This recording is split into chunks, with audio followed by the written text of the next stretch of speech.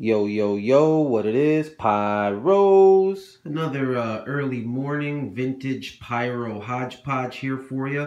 Let's get to it.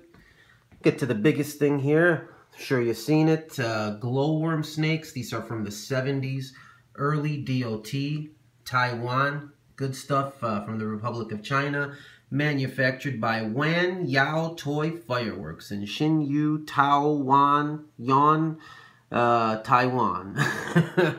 anyway, these are the good glowworm snakes, the ones that uh, had the chemicals in them to keep them actually glowing. I did a video of these before. If you go back to like uh, one of my first couple dozen videos on the channel, you'll find it. Amazing snakes. Over here, made up some bags of shooters for the weekend. It's uh, mostly uh, class 3, 4, and 5, all crimped beauties. And there's some uh, jumping jacks in there too. And next here, we got uh, DOT era waterfall. Uh, this one is the one that actually shoots flaming balls. Really cool. Uh, got an old uh, red lantern flashing wheel. This here is pretty cool. It's a class 2 electric prankster.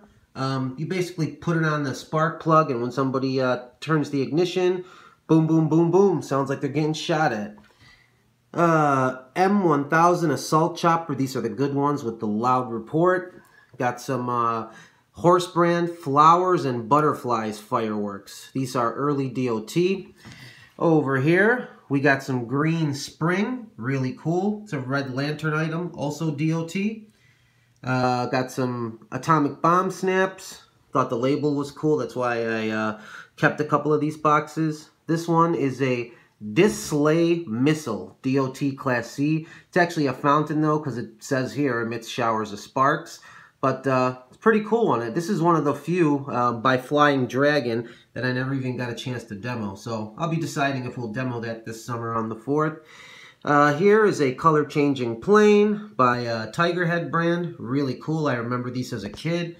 Over here, one of the original Phantom bricks of Wolfpack firecrackers.